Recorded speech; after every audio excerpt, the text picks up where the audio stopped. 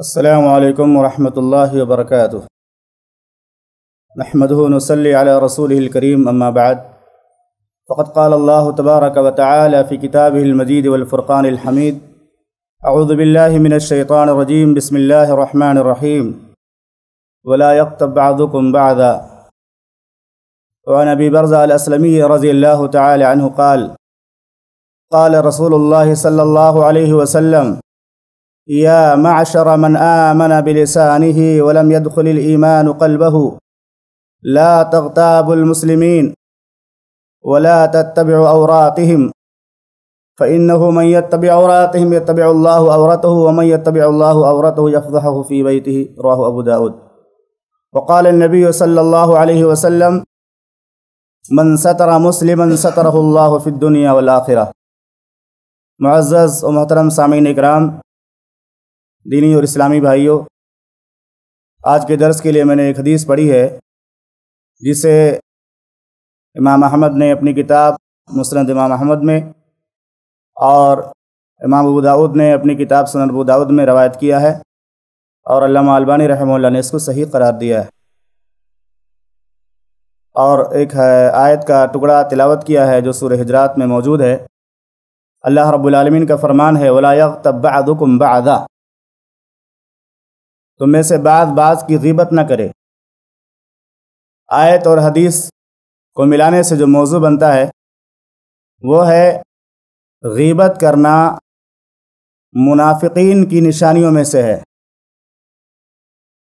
ابو برزہ علیہ السلمی رضی اللہ تعالیٰ عنہ راوی حدیث میں بیان کرتے ہیں کہ اللہ کے رسول صلی اللہ علیہ وسلم نے ارشاد فرمایا، یا معشر من آمن بلسانه ولم يدخل الایمان قلبه. اے وہ لوگو، من آمن بلسانه، جو لوگ اپنی زبان سے ایمان لائے، ان لوگوں کو مخاطب کیا، جنہوں نے اپنی زبان سے اسلام اور ایمان کا اقرار کیا کہ ہم ایمان لاتے ہیں، اسلام لاتے ہیں۔ ولم يدخل الایمان قلبه، لیکن ایمان ان کے دلوں میں داخل نہیں ہوا ہے۔ شارین حدیث نے لکھا ہے کہ بعض روایات کے اندر یہ بات بھی موجود ہے۔ کہ اللہ کے نبی صلی اللہ علیہ وسلم کو اس بات کی اطلاع دی گئی کہ کچھ منافقین ایسے ہیں جو مومنوں کی غیبت کرتے ہیں، اہل ایمان کی غیبت کرتے ہیں۔ تو محمد الرسول اللہ صلی اللہ علیہ وسلم ناراض ہو گئے۔ آپ غصہ ہو گئے اور آپ نے بلند آواز سے منافقین کو مخاطب کیا اور کہا، یا معشر من آمن بلسانه ولم يدخل الایمان قلبه کہ اے وہ لوگو جنہوں نے اپنی زبان سے اسلام اور ایمان کا اقرار کیا ہے، لیکن ان کے دلوں میں ایمان داخل نہیں ہوا ہے۔ لا تغتاب المسلمین، مسلمانوں کی اور مومنوں کی غیبت نہ کیا کرو۔ ولا تتبع عوراتهم اور ان کے عیوب کے پیچھے مت پڑو۔ کوئی مسلمان ہے، مومن بندہ ہے، تو اس کے عیب کے پیچھے نہ پڑو۔ میت طبی عوراتہم کیونکہ جو کوئی بھی مومنوں اور مسلمانوں کے عیوب کے پیچھے پڑتا ہے، اللہ اس کے عیبوں کے پیچھے پڑ جاتا ہے۔ اور اللہ جس کے عیبوں کے پیچھے پڑ جاتا ہے، اللہ اس کو اس کے گھر کے اندر ہی رسوا کر دیتا ہے۔ اپنے گھر کے اندر موجود رہے گا، اللہ اس کو ذلیل کر دے گا۔ اس حدیث سے یہ بات ثابت ہوتی ہے کہ ہم میں سے کوئی شخص اگر کسی بھائی کے اندر کوئی عیب دیکھتا ہے، کوئی برائی دیکھتا ہے، تو اس کی ذمہ داری ہے کہ اس کو اکیلے میں تنہائی میں نصیحت کرے، سمجھائے۔ اس کی اصلاح کی کوشش کرے، کیونکہ غیبت اسی کو کہا جاتا ہے۔ ان کا نفی ما تقول فقط اغتبتہ کہ ہم جس کی برائی کر رہے ہیں، اس کے اندر وہ برائی موجود ہوتی ہے۔ صحابہ اکرام نے محمد الرسول اللہ صلی اللہ علیہ وسلم سے پوچھا، غیبت کسے کہا جاتا ہے؟ آپ نے فرمایا، تمہارے بھائی کے اندر جو عیب ہے، اس کو تم بیان کرو، اس کی عدم موجودگی میں پیٹ کے پیچھے اس کو غیبت کہا جاتا ہے۔ اگر اس کے اندر عیب ہے تو یہ غیبت کہلاتا ہے اور اگر اس کے اندر وہ برائی نہیں ہے تو بہتان ہے اور یہ بہت بڑا گناہ ہے۔ تو غیبت کہا جاتا ہے کہ کسی انسان کے اندر کوئی برائی ہے اور ہم اس کو بتانے کے بجائے اس کے پیچھے اس کا ذکر کریں اور کہیں فلاں آدمی کے اندر یہ برائی پائی جاتی ہے۔ تو محمد رسول اللہ صلی اللہ علیہ وسلم نے منافقین کو خطاب کر کے سختی سے ڈانٹا اور کہا، تم مومنوں کی غیبت نہ کرو، مسلمانوں کی برائی نہ کرو مسلمانوں کے اندر عیب نہ ٹٹولو، کیونکہ اللہ جس کے عیبوں کے پیچھے پڑ جائے گا، اس کو ذریع خوار کر دے گا۔ محمد الرسول اللہ صلی اللہ علیہ وسلم کی یہ سنت تھی، آپ کا یہ طریقہ تھا کہ اگر آپ کسی شخص کے اندر کوئی برائی دیکھتے تھے، تو بھرے مجمع میں اس کا نام لے کر اعلان نہیں کرتے تھے۔ کوئی بھی برائی آپ دیکھتے، تو آپ یہ نہیں کہتے ماں بولا ماں بال فلان یقول کذا کہ فلاں شخص کو کیا ہو گیا ہے، وہ ایسا ویسا کرتا ہے۔ بلکہ آپ کیا کہتے ماں بال اقوام یفعلون یصنعون کذا لوگوں کو کیا ہو گیا ہے؟ کسی ایک آدمی کے اندر کوئی برائی دیکھتے تو اس کا نام ذکر نہیں کرتے، بلکہ کہتے لوگوں کو کیا ہو گیا ہے؟ لوگوں کے اندر ایسی ایسی بات پائی جاتی ہے۔ سنن ابو داؤد کے اندر ایک دوسری روایت موجود ہے، جس کے اندر اس بات کا تذکرہ ملتا ہے کہ محمد الرسول اللہ صلی اللہ علیہ وسلم نے کسی شخص کو کھلے میدان میں بلا اظہار کے غسل کرتے ہوئے دیکھا۔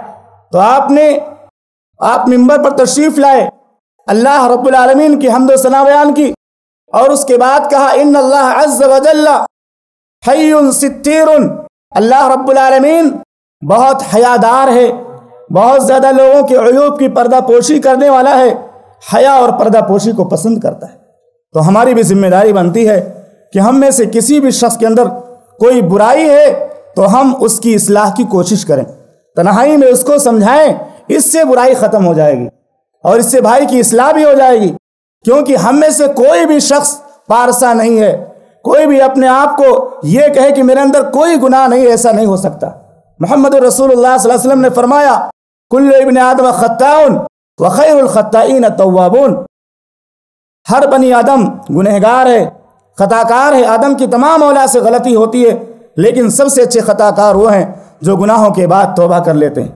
اور اس کی کتنی بڑی فضیلت ہے کہ اگر ہم کسی کے عیب پر پردہ ڈالتے ہیں، کسی کی برائی کو چھپاتے ہیں تاکہ آدمی اصلاح کر لے، اپنی برائی سے باز آ جائے، کتنا بڑا ثواب ہے، کتنا بڑا اجر ہے۔ محمد الرسول اللہ صلی اللہ علیہ وسلم نے فرمایا، صحیح بخاری مسلم کی روایت میں، من ستر مسلمن سترہ اللہ فی الدنیا والآخرہ جو کسی مسلمان کے عیب پر پردہ ڈالے گا اللہ تعالیٰ دنیا اور آخرت میں اس کے عیبوں پر پردہ ڈالے گا۔ تو ہم کو بھی سوچنا چاہیے کہ اگر ہم کسی کو ذلیل کرتے ہیں تو کل ہم بھی ذلیل ہو جائیں گے۔ اور اگر ہم کسی کے عیب پر پردہ ڈال کر اس کی اصلاح کرنے کی کوشش کرتے ہیں تو اللہ تعالیٰ ہمارے عیبوں پر بھی پردہ ڈالے گا۔ اور ایک دوسری روایت میں محمد رسول اللہ صلی اللہ علیہ وسلم نے فرمایا، ایک مومن اپنے مومن بھائی کے لیے آئینے کی طرح ہوتا ہے۔ جیسے آئینہ آپ کا عیب صرف آپ ہی کو بتاتا ہے دوسرے کو نہیں بتاتا۔ ایسے بندے مومن اگر اپنے کسی بھائی کے اندر کوئی عیب دیکھتا ہے، تو اس کی اصلاح کے لیے صرف اسی کو بتاتا ہے، دوسرے کو نہیں بتاتا۔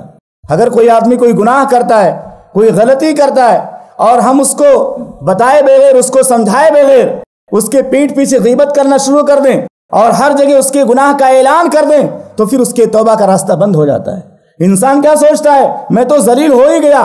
مجھے لوگ برا سمجھتے ہیں، اب توبہ کرنے سے کیا فائدہ؟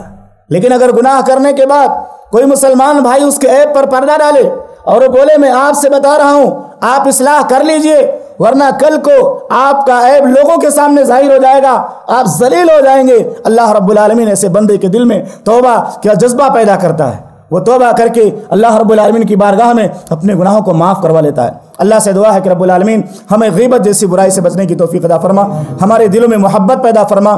ہم ایک دوسرے کی عزت کریں، احترام کریں۔ ہمارے دلوں میں جو بھی بغض اور نفرت ہے رب العالمین تو ختم فرما دے۔ اور ہم تمام مسلمانوں کو ایمان کے ساتھ موت نصیب فرما امین و صلی اللہ علیہ نبی الکریم۔ السلام علیکم ورحمۃ اللہ وبرکاتہ۔